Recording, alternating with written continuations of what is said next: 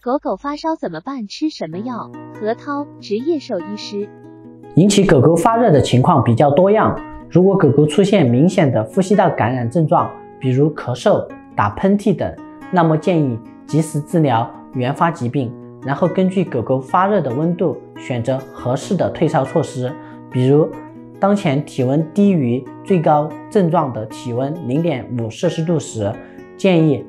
使用酒精擦拭狗狗的皮肤、脚垫等区域。如果体温超过最高体温一摄氏度以上，那么建议及时使用非甾体类抗炎药。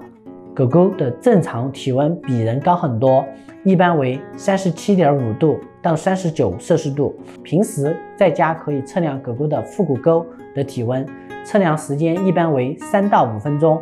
但是如果狗狗已经处于发烧状态，那么测量皮温的准确度将会降低，建议到宠物医院寻找专业的人员测量直肠体温。